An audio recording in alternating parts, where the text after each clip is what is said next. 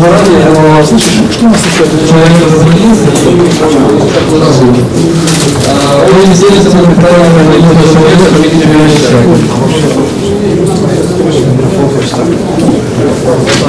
Ну, пусть видишь.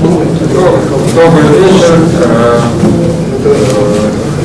Сегодняшняя тема моего выступления, моего первого выступления. Вот, извините, если я буду переживать, Хочу представиться, что я являюсь э, ветераном вот уже два года, э, монофруктоедом, э, четвертый месяц. Приехал Полтаву из Донецка, работал в оккупации. Полтаве начал кушать яблочки, фрукты. Как я к этому пришел? Во-первых, в плане здоровья. Э, моя семья э, и проблемы Вот, э, раньше я вообще ничего не понятно.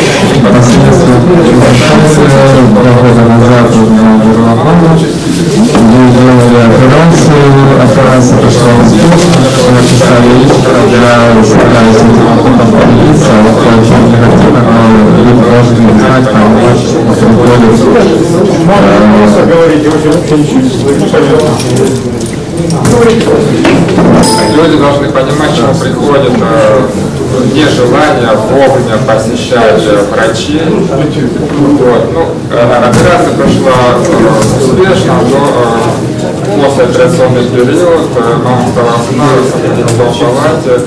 Нее установилось кровообращение, но поскольку у нее не кажет ноги, таких зрит, оторвался, заблокировал легкие артерии, как сказал патологоанатом. В результате мама задохнулась. У вас что, была клиническая смерть? Вот. Но уже э, до этого э, так случилось, что э, я стал э, ухаживать за больной бабушкой, это мать моего отчима. У нее был у нее диагноз церебральный атеросклероз. Это означает, что полностью исключить э, белковые продукты, содержащие. Поскольку я занимался ею исключительно я, то я не имел права сам питаться тем, чем я питался раньше. Ну, я нормально к этому отнесся. Вот. И таким образом я стал изучать материалы в интернете по поводу веганских сыроедения. Я эту тему даже не касался, просто изучал по тему. И вышел на то, что нужно перестать есть как и мясо, а в любом э, проявлении. Э, и э, некоторые виды продукта, которые э, так или иначе влияли на ее состояние. Дело в том, что она уже целый год была в лежачем состоянии, у нее был микроинсульт, и она не могла вставать. Вот, э, в результате ее состояние улучшилось, она смогла садиться, то есть если раньше она, ну, в общем говоря, не могла сидеть, мог- могла садиться, через некоторое время я ее смог поднять на. Э, В том плане, что я ее ну, держал за руки, мы ходили с ней по дому, по комнате, и таким образом физическая нагрузка проявлялась. Вот, такой вот опыт э, касательно моей мамы и бабушки. Дальше я стал э, исследовать эту тему питания, потому что я понимал, что вот моя мама, вот бабушка, и результаты, к чему это приводит. И э, таким вот образом я вышел и на веганство, то есть э, здесь э, надо проявить э, типы питания. Есть правила питания, типы питания. Значит, типа питания относятся э, все едения, э, вегетарианство, веганство, сыроедение, э, фруктоедение и монофруктоедение. А, Значит, сыроедение это когда э, человек э, как термально обработанной пищей, э, так и сырыми фруктами, овощами и э, белковые продукты, э, мясо, молоко, рыба, яйца. Э, К вегетарианству относится э, употребление молочных продуктов, э, э, мяса рыбы, молока и рыбы. Вот, э, э, веганству относятся э, все продукты, которые термически обрабатываются, но не содержат животного белка. Э, В том числе яйца, э, молоко и рыба.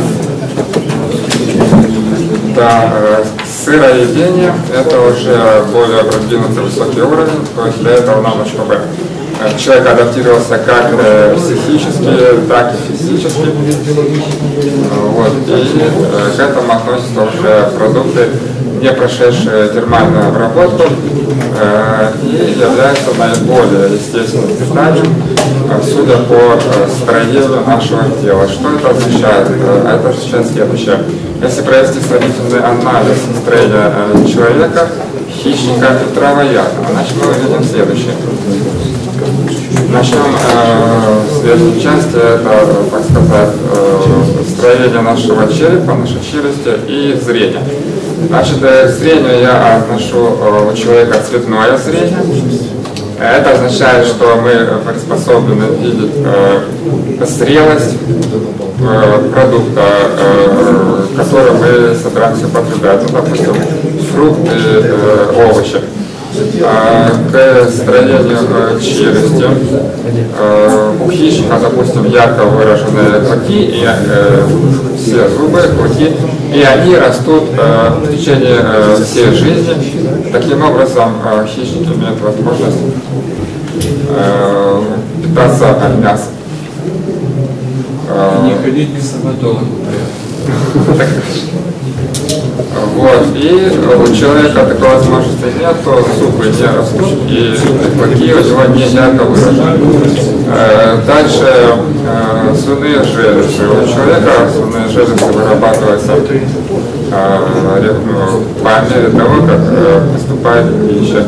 И э, необходимо тщательное пережевывание.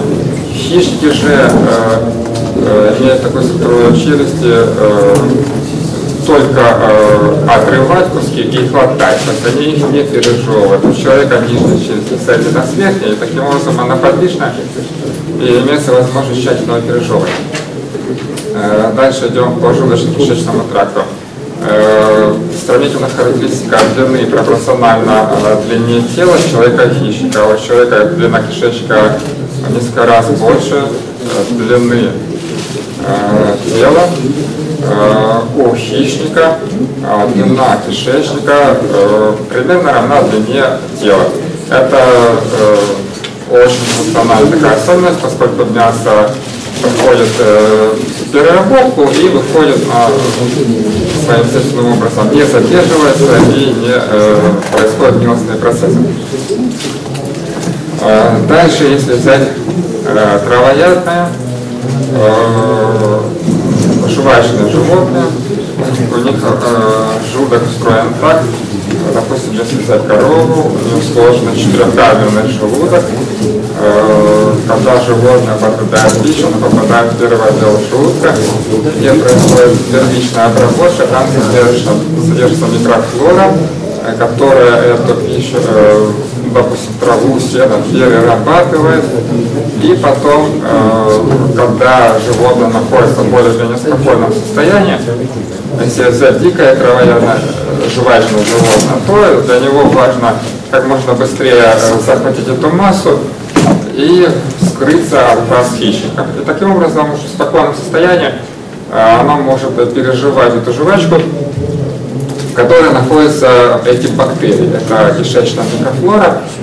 И э, это является тем белком, которое э, жвачное травоядное животное получает в результате, на примере коровы, допустим, она наращивает белковую массу, то, что мы называем мясо.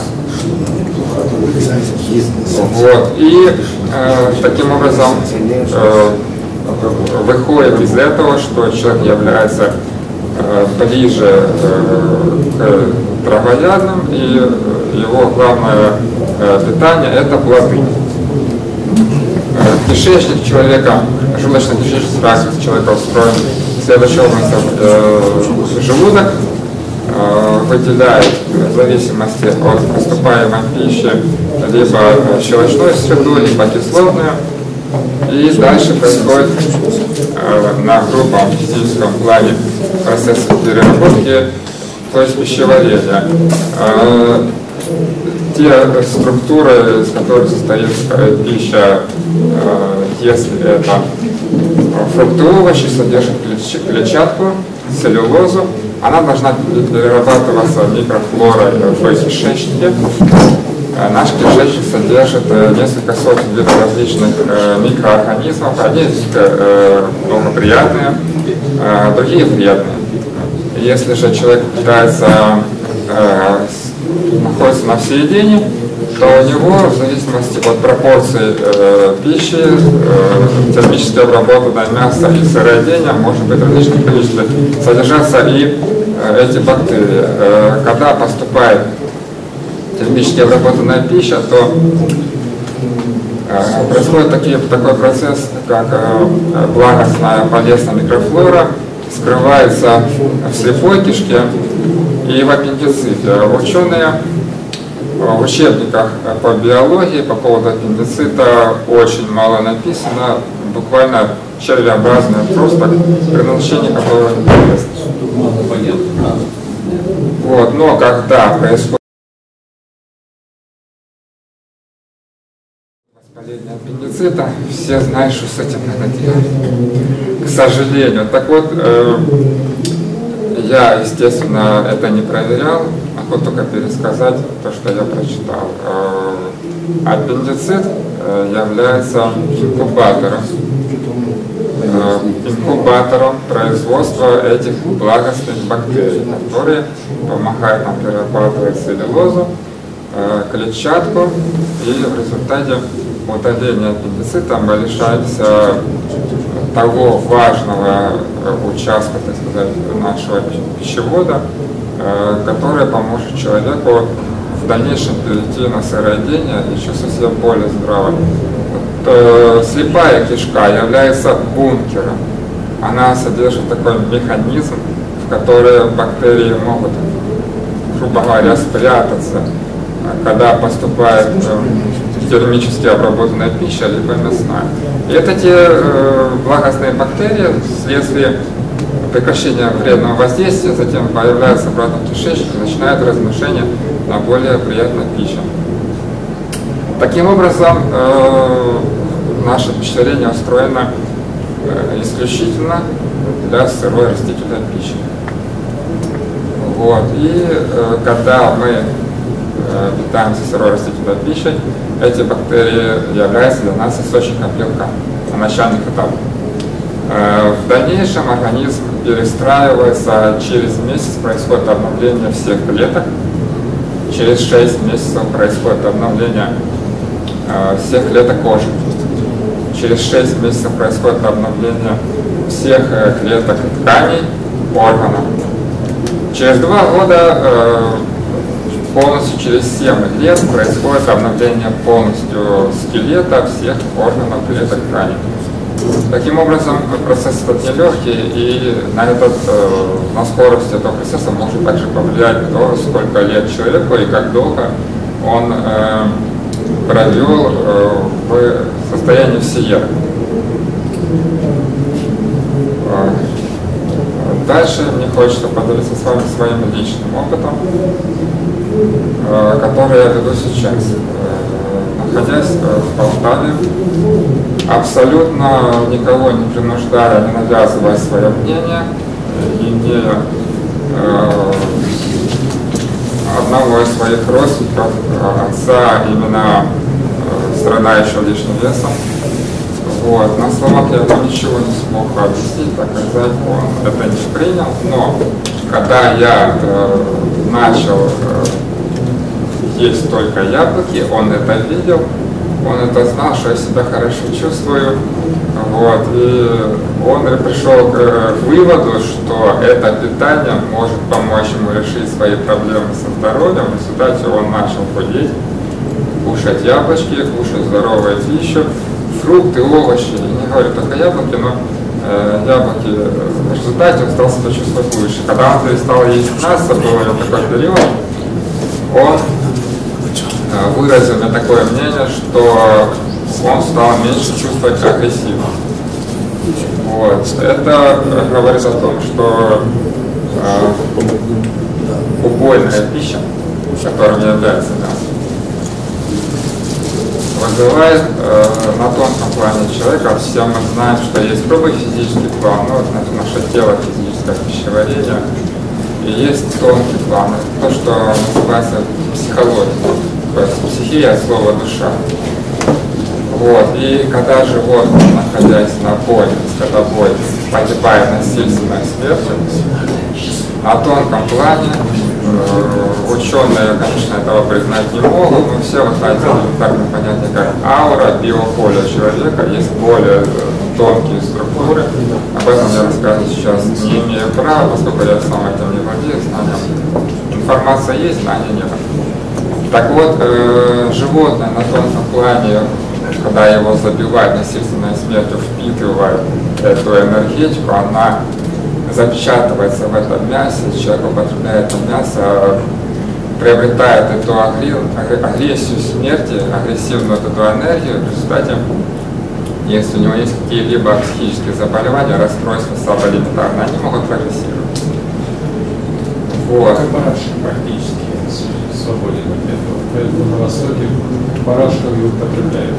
Они не чувствуют себя. Плохо Далее, что хочется сказать. Да, сейчас их усыпляют. А что надо кушать зимой, когда не подключить? Да. Ставь флешку. Флешки? В Алтае, поскольку я не имею работы, это связано с тем, что я имею статус переселенца, но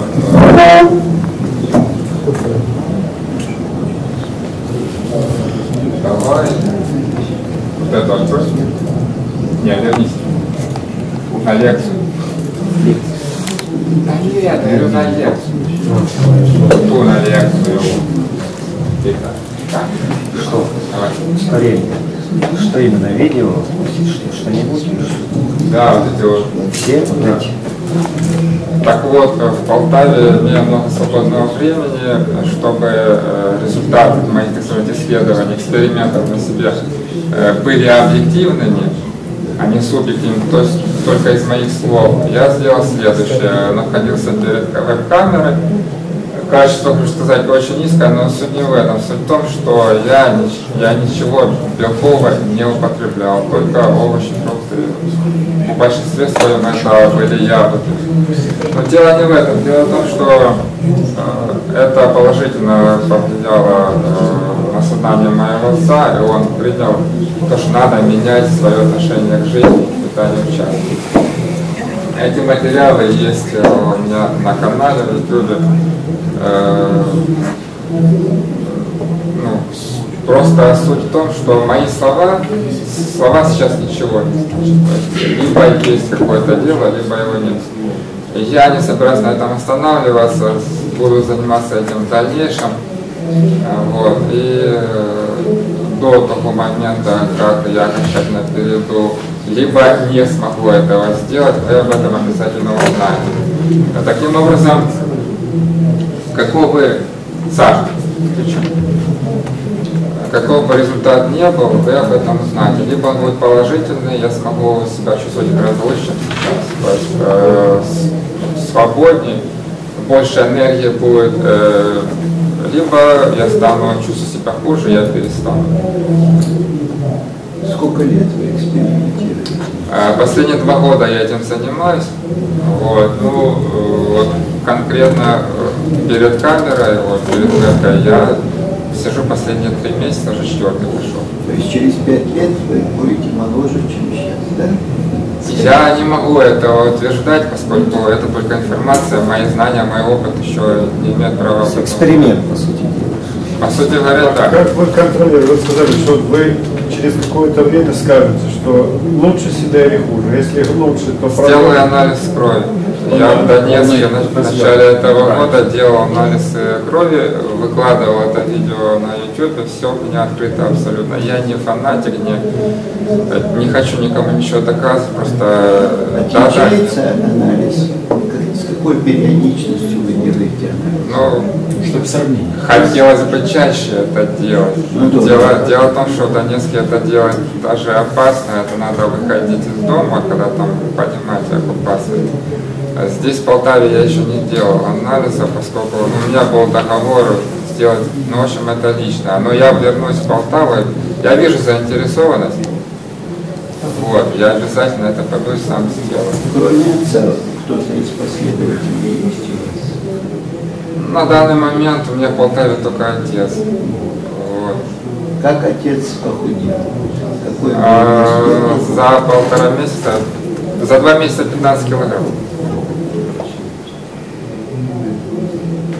Сколько ему лет?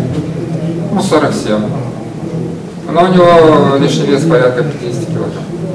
При росте в метр девяносто. То есть он весил где-то весил 140, где-то 160. 150 весил, сейчас 130. Ну, 100, 135. Так вот. 130, 132, Ну, есть 130. у него еще. Да, это дело есть. Он осознал, то есть он видит, что как бы само слова ничего не говорят. Я ему объяснял, как это все происходит, он мимо ушей все пропускал. Так оно у всех происходит. Вот На мне оно так же самое работало. Пока сам не попробуешь, э, пока э, вот самое главное, чтобы был настрой. Если человек уже сам себя настраивает, что мне нет, мне ничего не получится, значит так оно и выйдет. Э, По поводу вопроса зимой, чем питаться зимой. Ну, поскольку я не имею средств ходить на рынок и покупать, даже если бы они были на рынке зимой, сами знаете, какие продукты. Если это какой-то сельскохозяйственный производитель, э, пестициды, гербициды, инсектициды и тому подобное. Если это где-то дома, в домашних условиях, свое хозяйство, то это гораздо проще, конечно. А Сейчас, когда яблоки уже заканчиваются, у меня возможность э, соседских яблоков, так сказать, на поселке уже не будет. Вот, я собираюсь перейти э, на пророщенную пшеницу. Каков будет результат, вы об этом тоже узнаете, кому будет интересно.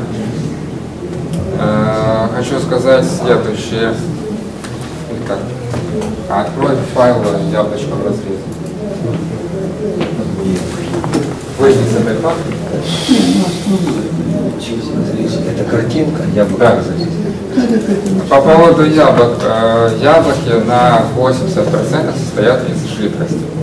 Значит, из килограмма яблок, соответственно, выходит 80, э, 800 мл жидкости и 200 грамм сухого вещества. Таким образом, э, зная, что в Полтаве вода из скважин, но у меня в доме вода низкого качества, трубы и тому подобное, я решил э, кушать яблоки, овощи, фрукты и не употреблять физической жидкости. То есть вот, э, пятый месяц я не пью физическую воду. Э, какие последствия? Э, давление меня немножко ниже, чем 120 на 80. Давление мое 100 на 65 на 70. То хочется сказать, э, как высчитывается э, норма 120 на 80, э, либо там температура 36,6. То есть берется группа людей, разная по весу, разная по росту, разная по физической нагрузке, по возрасту. Вот. Таким образом измеряется давление, то есть среднестатистическое. Считаю, что у меня нормальное давление. Э, Виктор тому свидетель, я воду не пил э, как бы сегодня, вчера, и э, чувствую себя вполне нормально. Я В стал таком случае сколько яблок а, Когда э, яблоки начались, поскольку я яблоки очень люблю, то есть это мой любимый продукт, чисто физически мне хватало, чтобы насытиться килограмма, но ел я больше, вот, 2 килограмма, два с половиной, когда их было много. Впоследствии их стало естественно меньше, я стал уже и чувствовать насыщение больше, и мне стало их меньше э, хотеться, поскольку приелись уже, как говорится. А Сейчас килограмм полтора. Килограмм. И не пьете. Нет, я вот, Кроме яблок, что вы? В сутки килограмм полтора, да. А, По этому поводу есть э, типы питания и правила питания. Сейчас я вам объясню, э, как правильно питаться. Значит, э, на тонком плане, если мы кушаем, употребляем пищу с плохим настроением, это все на нас отражается. Поскольку на 80% состоит из воды, а вода, как известно, имеет свойство информационно впитывать негативную либо положительную информацию. Таким образом можно объяснить э, полезные свойства крещенской воды либо освященной. В Библии сказано, что в трапезе есть продолжение молитвы. Вот, либо русская народная пословица, когда я ем, я ем. Вот, это первое правило. То есть надо кушать всегда с хорошим настроением. Второе правило Как вы поднимаете э, примерно следующим образом. Э, к этому сложно привыкнуть, а учитывая некоторые обстоятельства домашние и, э, в общем говоря, сесть, расслабиться ровно, закрыть глаза, вспомнить самый приятный момент из вашей жизни. Это может быть приятное воспоминание, связанное э, с детством, либо с вашими детьми, ну, рождение ребенка, например. Вот, э, многих это еще в будущем. Э, поездка куда-нибудь, вспомнить это состояние, а потом оставить воспоминания и находиться в этом состоянии. В общем говоря, надо не думать ни о чем плохом. Вот, таким образом, это второе правило. Э, Первое правило – хорошее состояние. Второе правило – надо тщательно пережевывать пищу. Ну, 33 раза. Э, да. Это как минимум. Все зависит от того, какая именно пища. Ребята, попробуйте, очень интересно. Не, я, между прочим, меньше мяса стал есть после того, как я был 34. Это Чем, следует. жи- Когда э, ты перестаешь жуешь, ощущать вкус пищи, вот это правильно. Все, чем Уже не дольше помню. жуешь, тем дольше живешь. Это прямая зависимость. Э, Вот, э, дальше.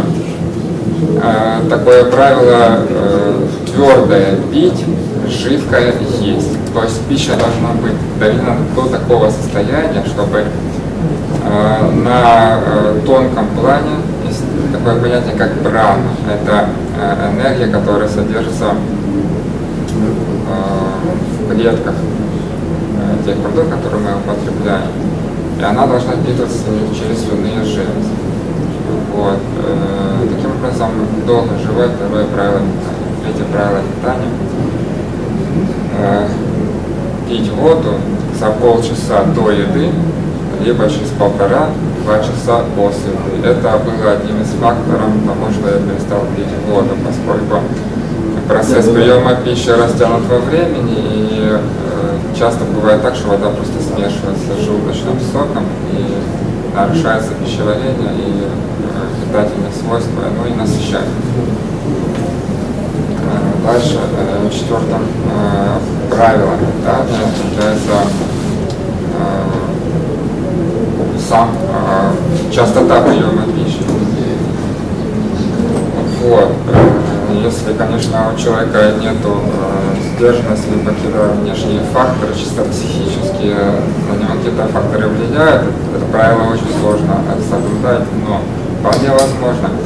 Здесь главное э, понимать, что когда ты чувствуешь физический голод и когда ты чувствуешь эмоциональный голод. То есть физический голод это когда уже есть сильная слабость. Эмоциональный голод это когда что-то приключилось, как мы говорим, и надо это состояние, состояние надо заесть. Ну, такая вот вредная привычка у нас. Мы успокаиваемся, либо По телевизору. да, либо так, либо так. Другими словами, это все ведет к очень плохим последствиям. Вот. Сколько раз вы вот полтора килограмма? Э, По поводу яблок, э, надо учитывать, что это солнечный продукт. На, э, на его, так сказать, переработку и усвоение должна использоваться солнечная энергия. То есть это дневной продукт, вечером его не желательно. вечером нет. Э, в нашей науке, конечно, такие исследования не проводились, то есть невозможно исследовать, что такое прана на физическом уровне, поскольку она не в физике, так сказать, не материальном уровне. Э, Опытные люди, допустим, э, ведическая культура в Индии утверждает, что э, если э, питаешься солнечным продуктом, такие как овощи, фрукты, зерновые, э, в тот момент, когда солнце находится в своей э, низшей силе, допустим, утром либо вечером, то организм сам затрачивает э, энергию на его переработку. Если питаешься с 11 и до 2, тогда солнечная энергия помогает э, переработке, усвоению и выделению энергии. Э, Таким образом, питаться лучше яблоками зимой в большом количестве вообще не кушать, иначе будет, э, ну как, поел, и вся энергия ходит в желудок. Вот. Либо небольшими количествами. Э, Я же э, кушаю за раз от э, полкилограмма, килограмм ну, за раз. Вот начинается 11 часов, сюда допустим, первую порцию, честно говоря, я не взвешивал, у меня как бы нету здесь именно в Полтаве весов, нет, вообще ничего нет. В Донецке было, тут ничего. От пола полкилограмма до килограмма раньше было за раз больше. Сейчас насыщение приходит раньше. И э, к двум часам еще одну порцию могу съесть. А вечером э, две жмени орехов резко чищенных. Больше я их съесть не смогу. Раньше я много ел грецких орехов. Грецкие орехи содержат э, белок, вот, э, растительный, но раньше я мог их много съесть, сейчас не могу. И таким образом, э, хочется сказать, что чищенных жемей больше. Хочется сказать, что если взять э, энергозатраты взрослого человека э, за сутки, то выходит, что примерно 80% э, человек тратит на пищевание. 10% э, уходит на умственную деятельность и 10% на физическую активность. Это если не брать спортсменов, где-то. Когда человек находится на сыроедении, постепенно перестраивается, благодаря таким веществам, э, которые находятся в пище, как энзимы, э, пища способна сама перевариваться. Э, То есть ученые проводили эксперименты, выясняли, э, как на самом деле происходит э, пищеварение. Брали э, две лягушки, а они были умершленные, брали два сосуда с. Э, Именно кис- кислота, обычный желудочный сок. Значит, в, одну, в один сосуд ложили лягушку вареную, а в другой сырую. Э, В первом сосуде лягушка вообще никак не изменилась. Э, Как была, так и осталась. Слегка, может, поверхность изменилась. А во втором сосуде э, лягушка растворилась полностью. Таким образом, э, желудочный сок э, не может влиять на пищеварение. Есть какие-то другие вещества, которые ученые открыли, назвали энзимами. Они находятся в клетках живых растительных э, продуктов и поступая в организм, они как бы сообщают э, нашему телу, нашему желудку, какой, какая среда для них нужна для пищеварения, либо кислотная, либо щелочная. Вот. И таким образом энзимы помогают самоперевариванию пищи, саморастворению, поскольку человек не тратит на это энергию, то выделяется энергия, э, которая идет на э, обновление, самоочищение организма. И таким образом шлаки, токсины, все канцерогены, которые мы употребляем э, с термически обработанной пищей, э, начинают выводиться. Э, ну, перед тем, как переходить на сыроедение либо веганство, лучше, конечно, заняться осознанным отказом от пищи, либо как э, пищевые паузы. Но голоданием это назвать нельзя ни в коем случае. Человек должен осознанно к этому подходить. Я этим занимался э, постепенно, сутки, двое-трое, так раз в неделю, два в неделю. Э, Семь суток на сухом провел, то есть без воды.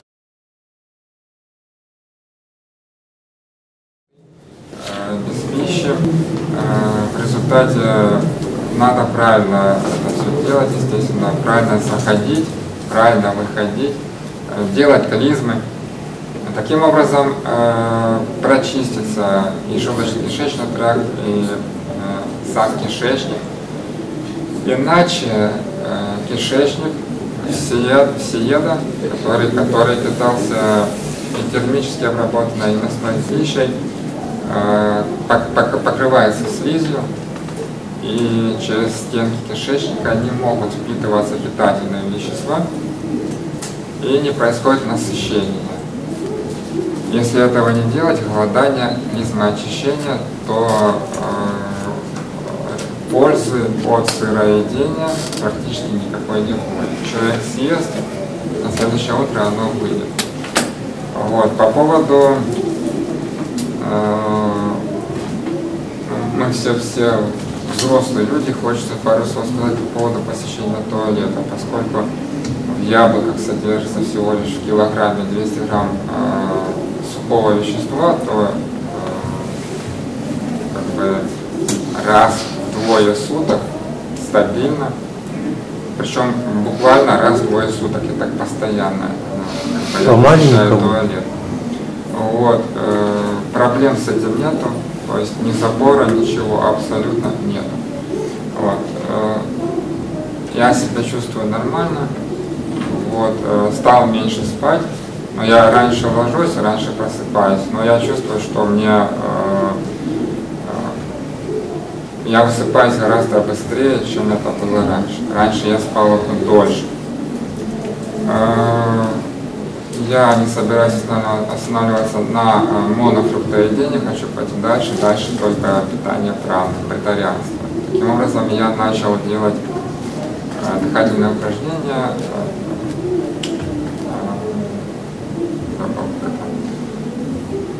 В общем говоря, я считаю, что э, дыхательные упражнения, задержка дыхания на вдохе, как это происходит? Вдох, Задержка дыхания. Сейчас я дошел уже до трех минут. Три минуты проходит, выдох, одна минута я ну, отдышусь, и опять э, вдох три минуты. И так в течение 40 минут. Э, По три захода. Э, к чему это приходит? Это способствует насыщению. То есть все мы знаем, что белки, жиры, углеводы состоят из кислорода, азота, э, углерода и водорода. Все эти элементы содержатся во вдыхаемом воздухе. Ну, азоту надо, конечно, особые условия, допустим, гроза. И тем не менее, э, когда мы вдыхаем воздух при определенных условиях, э, организм может перестроиться на внутренний холодный ядерный синтез по принципу фотосинтеза. Ну, Все вы знаете, солнечные растения потребляют э, вещества не только из почвы, но и из воздуха под действием солнечной энергии. Вода, углекислый газ превращается в целлюлозу и происходит выделение кислорода. Таким образом, э, наш организм тоже имеет способность к внутреннему синтезу. Э, В частности, э, предназначение нашего желудочно-кишечного тракта является всего две функции. Это синтез питательных веществ и э, иммунная защита, иммунитет. Я вас слышу. Какие физические нагрузки По поводу физических нагрузок, поскольку я э, только перешел на монофруктоедение, физические нагрузки я сейчас себя не подвергаю. Первые три месяца я себя не подвергал физическим нагрузкам. Ну, то есть надо подходить ко всему со здравым смыслом по состоянию. Значит, последний месяц я стал делать э, физическую зарядку. Это в частности есть э, видео, буквально начал с малого приседания, э, зарядка, просто разминка. В дальнейшем я буду увеличивать э, по своему нагрузку и э, посмотрим, что в результате получится. Вот. э, А ваше мнение, человек, а, работающий, допустим, на заводе, если тяжелые физические трудности, может отпитаться? Нет, конечно. человек не сможет, так, конечно, питаться с тяжелым физическим трудом, но э, не сможет. если резко перейти, если резко перейти, он не сможет так питаться, имея большую физическую нагрузку. Но если он перестанет есть мясо, он станет себя гораздо лучше чувствовать. Поскольку именно на мясо идет большая нагрузка по энергетике, по энергетическим затратам. И усваиваемость мяса очень низкая. То, что нам кажется, что нам э, дает там много энергии, на самом деле это Допустим, все вы знаете эффект, э, после того, как мы плотно покушали, нам всем хочется поспать. У меня такого состояния нет. И еще такой вопрос по поводу жидкости. Летом, когда человек просто-напросто потеет, теряет э, достаточно огромное количество жидкости, то есть в килограмме, либо в полутора килограммах э, яблок, ну, в килограмме 800 грамм жидкости. Ну, в полутора килограммах это 1200 грамм. Да? Ну, как бы этого сутки недостаточно даже для пота. Более того скажу, в выдыхаемом воздухе за сутки содержится 500 грамм Да, жидкости. А, По своему опыту, другого у меня нет, скажу следующее. Летом э, у меня потоотделение было гораздо ниже, поскольку организм перестраивается. Я вел малых, м, пониженную физическую активность, организм. Ну, я в сутки проходил не меньше, чем полтора килограмма, когда гулял по поселку Заявник. У нас богатый поселок. И мне надо было ходить, ну, километр полтора. Ну, то есть организм уже не имеет возможности охлаждаться. Я себя, я жары сильно не чувствовал. Более того, у меня постоянно э, кончики пальцев, э, чё-то холод. Холод, И- да, то есть когда перегрев, этого быть не может. То есть пониженное, пониженное потоотделение не из-за того, что какая-то дисфункция организма, а именно потому, что в этом нет необходимости. Ну, по крайней мере, у меня так было, поскольку э, не было большой физической нагрузки. Э, В дальнейшем э, будет повышаться нагрузка, в дальнейшем, по мере того, как организм будет перестраиваться, я буду повышать физическую нагрузку, буду смотреть по своему состоянию. И об этом буду рассказывать. У меня вопрос такой насчет энзимов, да, вот э, ты привел пример, что э, если кушать растительную пищу, то выделяются с этой же пищи энзимы, которые помогают переваривать пищу. Я так понял, да? И в пример ты привел э, желудочный сок и лягушек. А лягушка что то не, ну, не растительная. Почему имеется это? А в виду- Почему не, не лавровый лист, там, к примеру? Вот, В любой- неужели этот эксперимент показывает, что в самом деле это энзимы помогли в любой в живой эксперименте клетке есть энзим. в живой клетке? Да. И они способствуют переваривать пищу. А Лягушка была свежеумершленная, видать.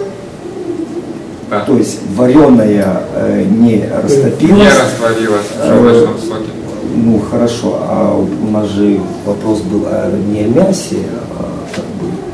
Получается, мясо лучше переваривается, чем растительная пища. Э, Дело, Я в том, понимаю, э, да? дело в том, что э, то мясо, которое мы покупаем, Ну, я просто не понял, к чему пример этот вообще, если у нас Почему вегетарианство не проверить идет. яблоко растворить? Или любое растительное Как-то, ну, не состыковка, вот факты Ученые как-то провели не... такой эксперимент, я о нем узнал, я вам рассказал. Если бы у меня был желудочный сок, я бы взял яблоко и Нет, выводов можно сделать много, а как на самом деле обстоят дела. Вот, А. к примеру, насчет температуры, а ты не задумался, что может у тебя уже организм не может вырабатывать столько тепла, сколько ему необходимо?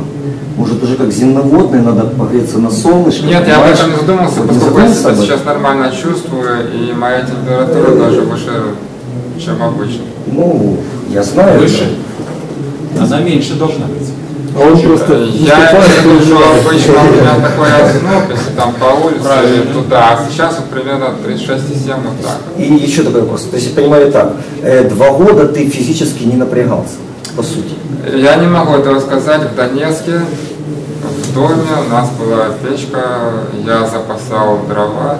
Да нет, Вот я имею в виду, вот Когда ты можешь, к примеру, 19. э, 100 метров пробежать, вот, быстро, вот, сразу чтобы- Можно я доскажу? Да, да, да. Так вот, э, делая запас дров на зиму, я занимался тяжелой физической активностью в плане спила сухих деревьев, подъема больших, ну, таких порядка бревен принеся, принеся их домой, распила и раскола. И топки, соответственно, печки в голодный период времени. Я для себя э, провел взвешивание э, дров, которые я использовал. Вышло порядка двух тонн я вытопил за зиму. Еще около тонны осталось неиспользованной. Таким образом, я провел на веганстве, то есть на термически обработанной каше, в основном пища, э, нагрузку и вполне нормально себя чувствовал. Э, То есть после этого э, рабочего дня, да? Э, Рабочий день у тебя был один раз?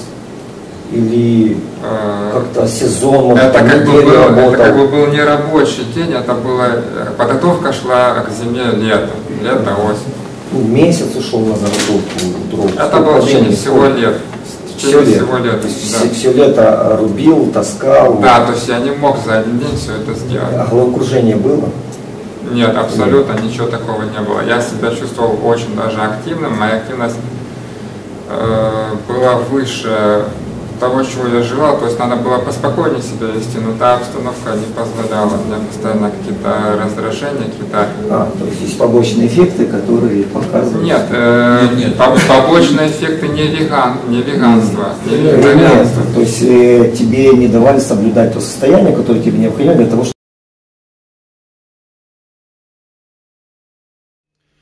Ну а теперь э, хочется сказать пару слов о продуктах питания. Начну я э, с того, что э, на начальном этапе человек находится на всеедении, начну я с белковой, белковых продуктов, а именно мяса, молока, рыбы и яиц. Значит, мясо, как известно, убойная пища.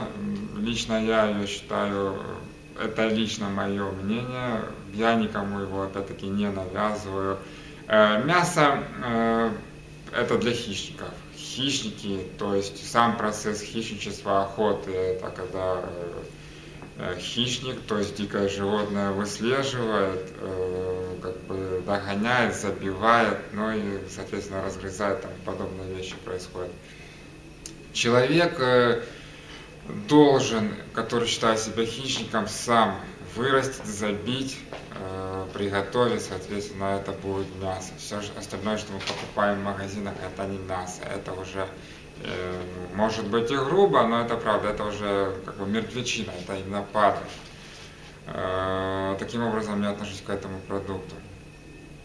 Э, То есть э, не свежий продукт, э, прошедший э, соответствующую обработку, хранящийся в морозильных камерах, не может называться свежим продуктом. Это уже таким питаться не стоит. Э, Дальше. Э, Существует поверье э, в ведической культуре, в индийской, ну и в старославянской, что за смерть живого существа несут ответственность шесть человек.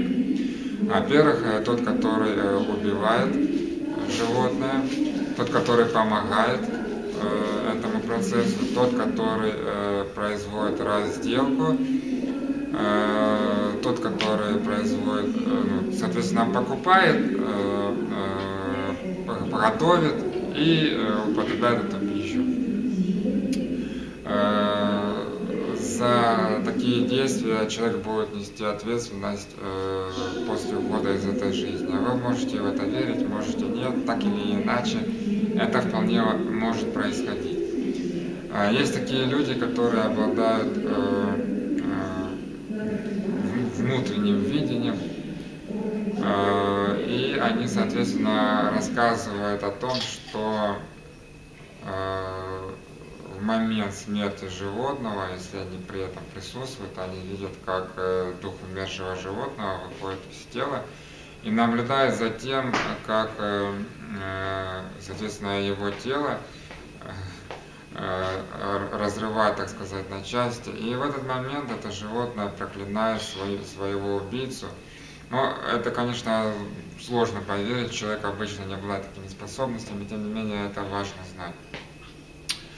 Дальше хотелось бы сказать э, по поводу молока. Допустим, э, в Индии корова считается священным животным. И молоко считается благостным продуктом. Но, э, соответственно, молоко из-под коровы я согласен. Э, Соответственно, в Индии молоко считается благостным продуктом, и э, если молоко из-под коровы, то его пить можно. Но если молоко на молочной ферме, я считаю, что по некоторым данным корова для того, чтобы производить круглый год молоко, должна быть постоянно находиться как бы, на стадии беременности, либо как минимум уже отелившаяся, чтобы молоко вырабатывалось. Это, во-первых, для того, чтобы она была постоянно на стадии беременности, ей вводят специальные гормоны тому подобные вещества, э, чтобы повысить э, выработку молока, соответственно, тоже вводятся различные вещества. И когда теленок э, рождается, его отрывают от вымени, соответственно, он не находится в одном стойле с коровой. Вот. И в этот момент э, э, корова, когда от него отрывают теленка, испытывает ужасные муки, то есть ну, это можно элементарно каким-то образом представить, как матери забрать ребенка, и животное тоже это все чувствует. Соответственно, я молоко не употребляю, хотя я его очень люблю.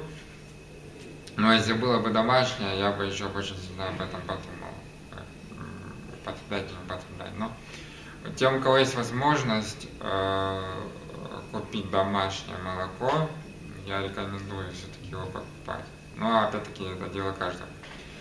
Э, Дальше по поводу рыбы.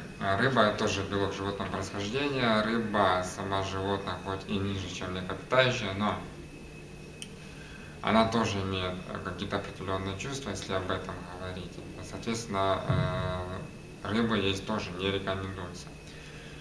Э, Яйца вообще можно считать куриным абортным материалом, то есть яйцо предназначено для того, чтобы из него появился цыпленок. Э, Когда э, курица, так сказать, высиживает яйцо, неоплодотворенное, то выходит, что жизнь не появляется. Таким образом, рыба, мясо, яйца являются для веганов нежелательным продуктом. Э, Дальше идем э, по другим продуктам питания. Ну, допустим, взять э, напитки. Хочется сказать пару слов о кофе и чаях. Чай производится в более теплых странах. Индия, Цейлон. Это листочки чайного дерева, все остальное нельзя считать чаем. Э, В чае натуральном, на черном чае содержится кофеина больше, чем в натуральном кофе. Соответственно, это является гораздо более тонизирующим напитком, чем э, кофе. Пить его нужно в умеренных количествах. Вот, если выпил, допустим, утром э, небольшую чашечку, это вполне достаточно на весь день. Если выпьешь к вечеру, то, ну, в зависимости от состояния здоровья человека, э, ночь может либо крепкой быть, э, либо может быть расстройство сна. Э, Кофе является ну, таким напитком, который вызывает привыкание гораздо сильнее, чем чай. По моим наблюдениям, человеку гораздо сложнее отказаться от кофе, хотя я сам кофе никогда не пил, но такие наблюдения у меня есть. Э, Дальше хочется сказать, э, ну, овощи, фрукты здесь э, некоторые рекомендуют употреблять э, те овощи, фрукты, которые растут в нашей полосе, то есть там, где родился, то и кушаешь, ну и соблюдать сезонность по возможности. Фрукты импортные одни рекомендуют, другие не рекомендуют. Вот, употреблять, допустим, в зимнее время, ну, это опять-таки по состоянию человека, э, как он себя чувствует и смотря в каком количестве. Э, Дальше хочу сказать о, о таких продуктах, как крупы. Э, В русской э, традиции, славянской, э, ходит такая поговорка, как э, «щи да каша, пища наша». Она актуальна и сейчас. Также всем известна русская народная сказка «Кощей бессмертный». Э, Кощей, то есть питающийся кашей и щами, и бессмертный, э, через «з». Но у нас это переделали, получилось «без». смертный. Так вот, э, Кощей Бессмертный питался кашей и щами, а его смерть находилась в яйце, в утке, там, в рыбе, ну то есть, в принципе, во всем том, что содержит белковые, матери... белковые продукты. Таким образом, э, русская народная, так сказать, мудрость э, пронесла в века эти традиции и эти советы, как, как правильно питаться и как чувствовать себя здоровым. И, так сказать, не зря на, на земле русской были богатыри, вот, и защищали нашу землю от э, различного рода захватчиков. Дальше хочется рассказать, поделиться, так сказать, своими наблюдениями, своим опытом небольшим работы в торговле по поводу других напитков, э, таких как э, сладкие напитки, то есть э, не минеральная вода, а именно сладкие напитки. Э, Хочу сказать следующее. Они э, вызывают повышенную э, жажду. Сразу как э, выпьешь, содержание сахара в этих напитках э, вызывает жажду. То есть хочется пить опять. Вот. э, Недавно слышал рекламу по радио «Эко-водка». То есть э, она может быть и производится э, по каким-то эко-технологиям, но что такое экология? Сегодня мы находимся на международной выставке по энергоэффективности, экологии. Что такое экология? Экология – это наука, изучающая взаимосвязь между живой и неживой природой и влияние на эти связи человеческой деятельности. То есть э, по сути, эко-водка, она напрямую не влияет на эти связи, но выпивший человек может натворить больших бед, которые будут влиять на взаимосвязи между живой и неживой природой. Соответственно, эко-водка – это э, всего лишь реклама, бренд, и не покупайтесь на эту дешевку. Ни в коем случае. Вот, э, ну, э, а сейчас э, хочется дать вам возможность задать ваши вопросы. Туши. Значит, есть вопрос. Вот если человек всю жизнь ел всякую гадость, пил всякие вот эти напитки, тоже эко-водку, то если он сейчас начнет э, исправлять э, здоровье путем там какого-то голодания, как вы сказали, то как это отразится на его состоянии и не станет ли ему хуже в принципе? Э, Спасибо большое за вопрос. Ну, во-первых, надо, чтобы человек осознал необходимость э, изменения своего образа жизни. Это первый этап, он очень важный, поскольку все изменения происходят у нас э, именно э, на ментальном уровне, то есть наши мысли, эмоции, вслед за которыми и происходят изменения в нашем организме. То есть как мы себя настраиваем, такие изменения происходят. И следующим этапом постепенно, в течение нескольких месяцев, э, настраивания себя и какие-то конкретные действия. То есть э, в зависимости от того, э, какое состояние человека, ну, то есть э, вес, рост, возраст, какие у него возможности, сила воли в частности, то есть без особого принуждения уменьшать норму потребления тех продук- продуктов, которыми он питался ранее. И э, постепенно снижая эту норму, организм сам будет э, э, адаптироваться к тем продуктам, которые он будет э, заменять э, одни продукты другими. То есть, э, допустим, если это было мясо, рыба, э, яйца, можно их заменять там кашами, такими продуктами, которые содержат именно белки животного происхождения. В дальнейшем каши можно будет переводить постепенно на э, сырую пищу, но опять-таки в зависимости от состояния вашего желудочно-кишечного тракта, пока не появится новая э, благостная микрофлора. Э, да, я вас слушаю. А врачи вот почему об этом молчат и ничего не говорят, и знают ли они вообще об этом? Ну, об этих всех Ну, вещах. во-первых, э, существует такая наука, как э, диетология, и существуют такие врачи, как диетологи. А Одни говорят, одни советуют определенную диету, но опять-таки э, я общался с людьми. Одному человеку больному сахарным диабетом порекомендовали есть мясо. А ему нельзя есть мясо?